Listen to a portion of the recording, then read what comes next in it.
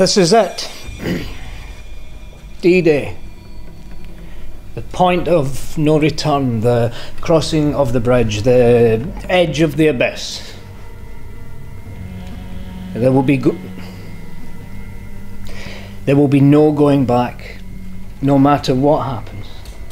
I can't tell you how it will all end, but what I do today could change the entire future of the human race.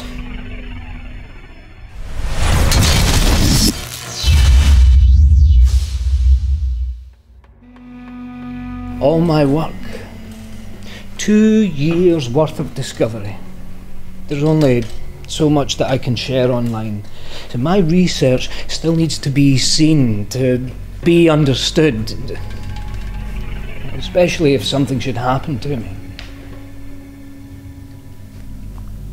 Lydia, I know you haven't listened to me yet, but once it's all over, there will be too many questions.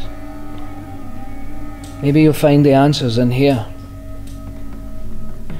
Please help to show the world that despite appearances, I am not a mad scientist. I am simply a man trying to ensure that you all have a future, even at the cost of my own.